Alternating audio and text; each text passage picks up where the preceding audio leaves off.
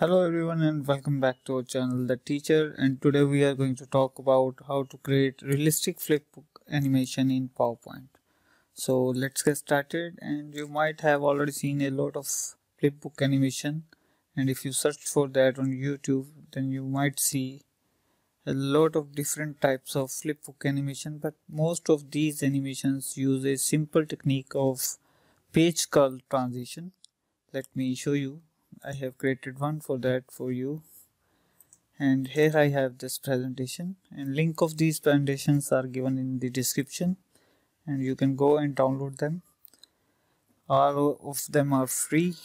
And here we have this page curl transition applied from the second slide to fifth slide.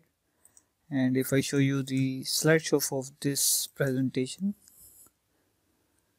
as you can see here but the problem with this page curl transition is that it curls the entire slide not only the book. If you see carefully you will see that the green background is also have a curl that we don't want in our presentation.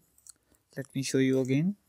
So that means you cannot place other objects along with the book because they will also have a the curl transition so that is why I have recreated this animation using a few simple techniques and uh, here we have another presentation where I have created the entire design of the book and that is a 2D shapes I have used to draw this entire book here along with the pages. So what I did, I just copied this page and then pasted it to paint 3d so later I can convert them into the 3d objects. Because the actual animation that we are going to make in PowerPoint that I have shown you in the beginning of this video this type of rotation is not possible in PowerPoint with 2D objects. So that is why we have to convert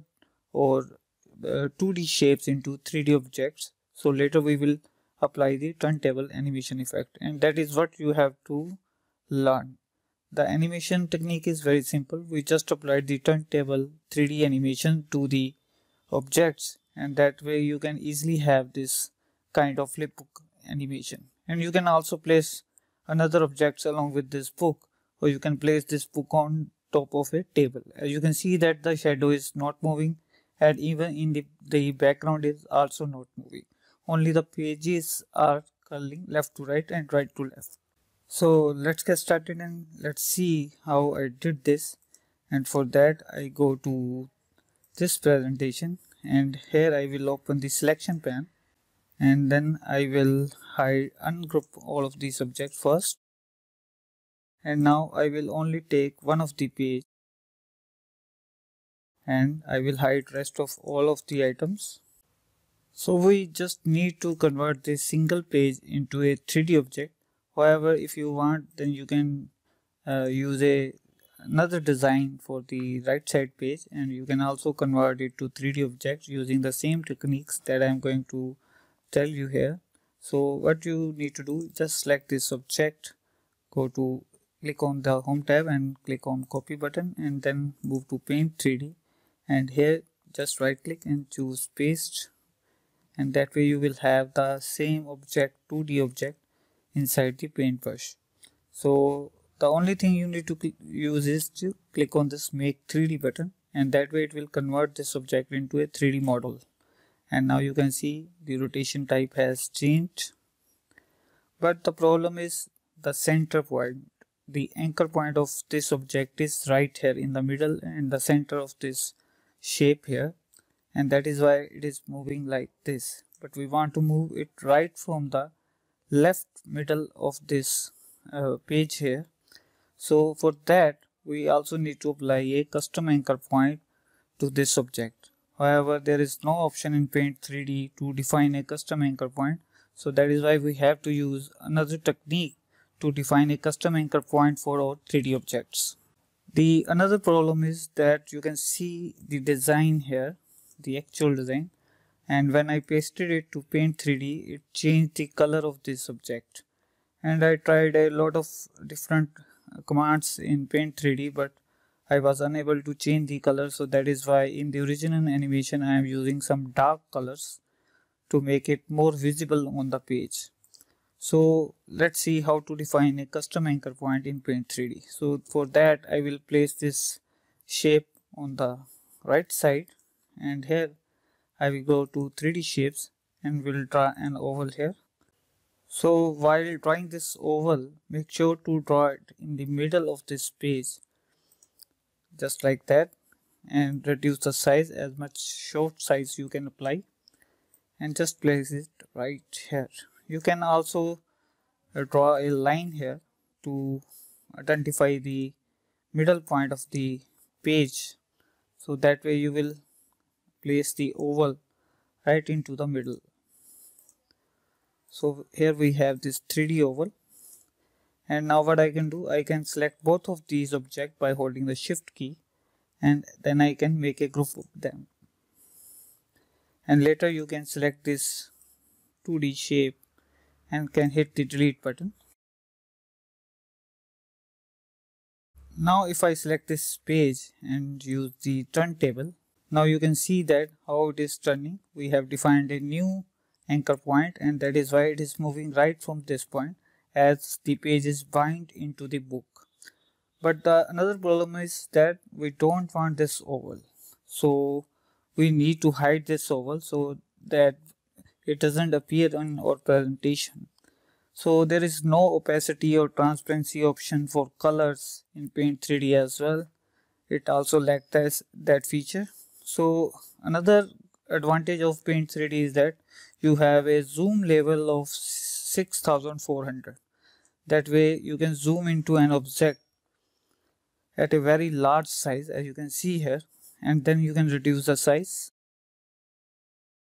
Let me place it right here and zoom in to the maximum amount of 6400 and make it as short as you can like this now I will zoom out and will select all of the 3D objects on this on this page. By clicking on select all or you can also press ctrl A. After selecting all click on the group button. And now we need to just save this 3d object. And for that what you can do go to file menu then click save as 3d model and make sure to note down the location by default it is saving inside the 3d objects folder under your user profile so i will name it flipbook page new and click the save button. If you want you can also convert the entire book into a 3D object but uh, for the example I am just going to convert a single page to show how it works. Let me place these pages sideways and I now I will go to the insert tab will click on 3D model this device.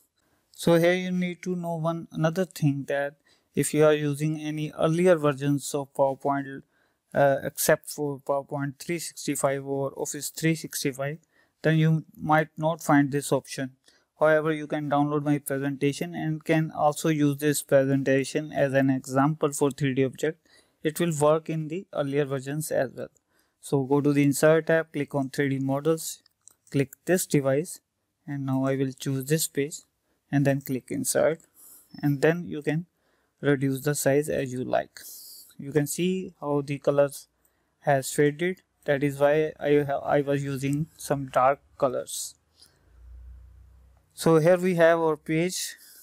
I will place it right here. We will increase the size a little bit the design is totally up to you that how you want to design your book. So now what I can do I can go to the animations tab and will click on turntable animation effect and then go to the effect options drop down. I want to turn it to the left side instead of right. So now you can notice that you are unable to see that oval. However it is still there but because of smaller size it will not get visible on the slide so that is why we had zoom into 6400 percentage to make the oval as smaller as we can so the under the effect option i am going to choose left and will only uh, apply a amount of rotation half spin and will set it to play with previous with a short time duration of 2 seconds. Now if I go to the slideshow, so here we have. So the rotation totally will depend on the custom anchor point that you will define. So as you have seen already that let me undo all this. And here you also need to note that I have placed two pages on each side of the book. So when the first page will move you will see another page in the background. And you can also make the entire animation on a single slide or you can choose a, duplicate the same slide many times and can apply different turntable animation effect on different pages just like I did on all of these slides. I am using total 17 slides and applying all the same animation turntable animation effect. The another thing that you can do is you can have different style for left and right pages. However, I am using the same style eh, but just flipping the design. Like you can make a duplicate of this object by clicking on copy and then click paste place it sideways and then just rotate it like this. And later you can apply different turntable animation effect on this. Instead of left you can use the right like this. So once you have a single page design and animation ready what you can do you can right click on this slide and choose duplicate and on the second side you, if you want to change the rotation or duration that you can do easily and that is what I have did on all of these slides on some slides I am animating the left pages and on some slides I am animating the right pages with different duration times. So if I move to top and show you the slideshow, here we have a realistic flipbook animation ready. And I have also written a detailed article on this uh, flipbook animation that you can get in the description. The link of that article and the download link of this presentation is given in the description. And before we go I would also like to show you another thing that I have created a simple presentation where I have just placed another object on top of these pages. So that is just to illustrate you that you can do the use the same technique to animate more characters as you can see that I have placed different work poses. These are the PNG transparent pictures that you can also use to animate another objects along with the flipbook and you can also place this flipbook on top of a table or in any another scene that you did you like to use it. And the another advantage of converting your 2d shapes into 3d object is that you can also rotate them like this. Let me increase the timing so you can see the difference here. And you can change the anchor point along according to the position that you want to use.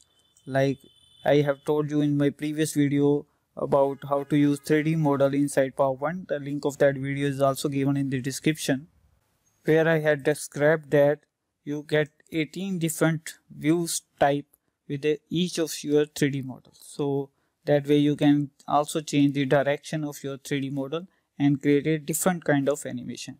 So I hope you will like this information. Let me know by liking, sharing and commenting on this video and do subscribe to our channel for more upcoming tutorial videos. Thanks for watching and have a wonderful day.